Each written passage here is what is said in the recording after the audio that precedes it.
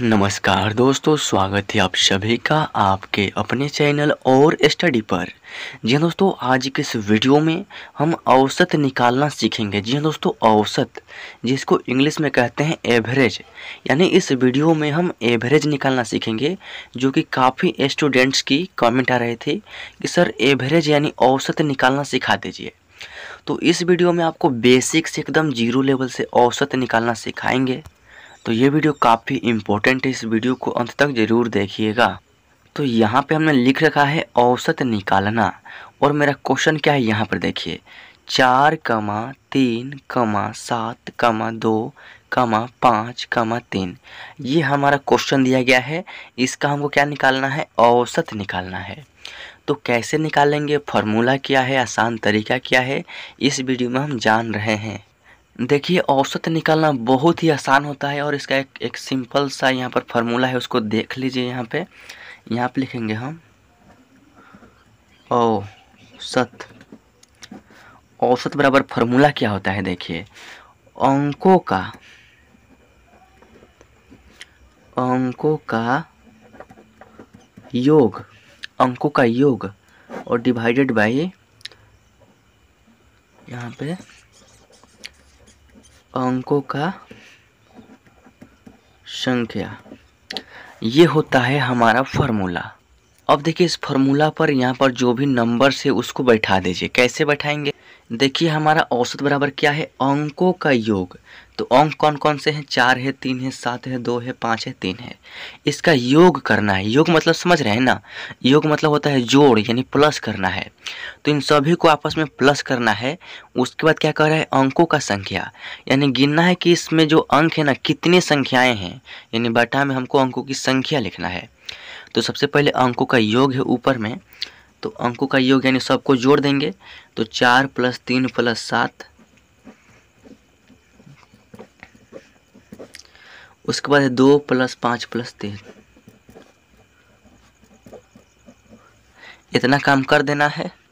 और बटा में क्या लिखना है? अंकों की संख्या। तो एक बटा देंगे। अंकों की संख्या कितने हैं? तो इसको काउंट कर लीजिए। देखिए, यहाँ पर क्या है? एक, दो, तीन, चार, पाँच, छः।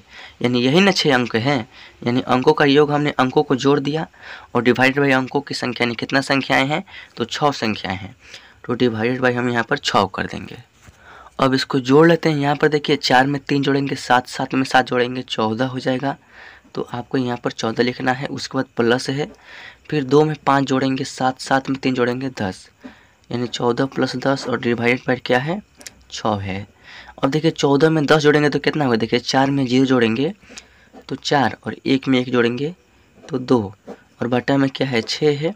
और छः से चौबीस कटेगा छः चौके चौबीस, चार बार में। और हमारा औसत और जिसको इंग्लिश में कहते हैं, एवरेज, का वैल्यू कितना आ गया? चार। और यही इस क्वेश्चन का, यानी पहले क्वेश्चन का फाइनल आंसर हुआ। यानी करना क्या है? आपको सबसे पहले अंकों का योग कर लेना है। जो भी नंबर्स दिया रहेगा, उसको सभी को जोड़ना है और डिवाइड कर देना है। जो भी नंबर यानी जितने नंबर है ना, यानी जो भी अंकों की संख्या, उसे डिवाइड कर देना है और जोड़ना है डिवाइड करना है, आपका एवरेज निकल जाएगा। तो आइए एक और दूसरा क्वेश्चन देखते हैं जो कि बहुत ही महत्वपूर्ण है और इस क्वेश्चन में आपको थोड़ा सा समझना है, बहुत ही आसान तरीका से आपको बताने का प्रयास कर रहा हूँ। तो देखिए हमारा क्वेश्चन क्या है? ज़ीरो दशमलव तीन कमा, ज़ीरो दशमलव ज़ीरो तीन कमा तीन दशमलव ज़ीरो कमा ज़ीरो दशमलव तीन ज़ीरो। इन सभी को क्या करना है? एवरेज निकालना है, औसत निकालना है। तो वही फार्मूला हम यूज़ करेंगे, औसत औसत बराबर फार्मूला क्या होता है? अंकों। अंकों का योग और बाटा में अंकों का संख्या, ये होता है हमारा फार्मूला अब अंकों का योग कीजिए। देखिए हमारा अंक कौन कौन सा है? ज़ीरो दशमलव तीन प्लस ज़ीरो दशमलव ज़ीरो तीन। ज़ीरो दशमलव तीन प्लस ज़ीरो दशमलव ज़ीरो तीन प्लस तीन दशमलव ज़ीरो। यहाँ पे है तीन दशमलव ज़ीरो प्लस ज़ीरो दशमलव थ्री ज़ीरो। ज़ीरो दशमलव थ्री ज़ीरो कर देंगे। अब यहाँ पर देखिए, जो भी हमने अंक यहाँ पर था, सबको यहाँ पर लिख लिया है। अब बाटा में क्या है? अंकों का संख्या। तो सबसे पहले एक लाइन खींचेंगे और अंकों की संख्या कितना है? देखिए, एक, दो, तीन, चार है। अंकों की संख्या चार है तो बटा में यहाँ पर चार रहेगा। अब देखिए, करना क्या है? इन सभी को पहले जोड़ना है। तो चलिए इसको जोड़ लेते हैं। देखिए, ज़ीरो दशमलव तीन में प्लस करना है ज़ीरो दशमलव ज़ीरो तीन, फिर इसी में प्लस करना है तीन दशमलव ज़ीरो, फिर इसी में प्लस करना है ज़ीरो दशमलव थ्री ज़ीरो। तो चलिए हम इसको साइड में यहाँ पर जोड़ लेते हैं। क्या है? ज़ीरो दशमलव तीन है और ज़ीरो दशमलव ज़ीरो तीन है। तो सबसे पहले लिखेंगे ज़ीरो दशमलव तीन, उसके बाद क्या है? ज़ीरो दशमलव ज़ीरो तीन। तो सबसे पहले दशमलव के सामने दशमलव दशमलव के राइट में क्या है? ज़ीरो तीन। दशमलव के लेफ़्ट में क्या है? ज़ीरो है। उसको लिख लेना है। यानी दशमलव के सामने दशमलव रहना चाहिए। यह आपको यहाँ पर ध्यान देना है। दूसरा क्या है? थ्री दशमलव ज़ीरो। तो सबसे पहले क्या करेंगे? दशमलव के सामने यहाँ पर दशमलव और दशमलव के राइट में क्या है? यहाँ पर ज़ीरो है। तो हम यहाँ पर ज़ीरो लिख देंगे और दशमलव के लेफ़्ट में तीन है तो हम यहाँ पर तीन लिख देंगे। उसके बाद क्या है? यहाँ पर ज़ीरो दशमलव थ्री ज़ीरो। तो दशमलव के सामने दशमलव राइट में है थ्री ज़ीरो और लेफ़्ट में है सिर्फ़ ज़ीरो। अब इसको जोड़ देना है तो देखिए, यहाँ पर दाहिनी तरफ़ से जोड़ेंगे, तीन में ज़ीरो जोड़ेंगे तो आपका तीन होगा। तीन में तीन जोड़ेंगे और ज़ीरो जोड़ेंगे तो आपका तीन तीन, यहाँ पर छः होगा। दशमलव के सामने दशमलव होगा। ज़ीरो में ज़ीरो जोड़ेंगे, उसमें तीन जोड़ेंगे, फिर ज़ीरो जोड़ेंगे तो आपका तीन ही होगा। यानी तीन दशमलव छः तीन आपका आ रहा है या इसका योग। इसका योग कितना आ रहा है? तीन दशमलव छः तीन, और बाटा में क्या है? चार है।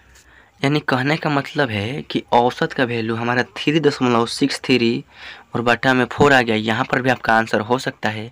या आप चाहें तो इसको और थोड़ा सा आगे बढ़ा सकते हैं, देखिए। या आप चाहें तो यहाँ पर जो है थ्री दशमलव सिक्स थ्री है ना? तो आपको करना क्या है देखिए। थ्री और सिक्स थ्री लिख लेना है। लिख लेना है, लिख लिया हमने। अब देखिए, बटा में क्या करना है? यहाँ पर दशमलव के बाद दो संख्या था। तो हम क्या करेंगे? चार के गुने में दस का पावर दो कर देंगे और यह भी आपका आंसर हो जाएगा। हमने दस का पावर दो क्यों किया? क्योंकि यहाँ पर जो था दशमलव के बाद, यहाँ पर दो संख्या था। इसलिए हमने नीचे में गुने में क्या किया? दस का पावर टू कर दिया। अब यहाँ पर भी आपका फाइनल आंसर ये भी हो सकता है और ये भी हो सकता है। तो आई होप कि इस वीडियो के माध्यम से आपको एवरेज निकालना यहाँ पर आ गया होगा। जो भी मैंने फार्मूला बताया है, बहुत ही आसान फार्मूला है। इसको आप याद कर लीजिएगा नहीं भी याद करेंगे ना तो करना क्या है? जो भी संख्या उसको जोड़ देना है और जो भी संख्या मतलब जितनी संख्या उसे डिवाइड कर देना है। और करने के बाद आपका आंसर आ जाएगा। तो वीडियो अच्छी लगी हो तो वीडियो को लाइक कर दीजिएगा। चैनल पर है तो सब्सक्राइब ज़रूर कीजिएगा ताकि नए वीडियोज़ का नोटिफिकेशन आपको मिलता रहे। चलिए मिलते हैं आपसे नेक्स्ट वीडियो में। तब तक के लिए टेक केयर बाय बाय धन्यवाद।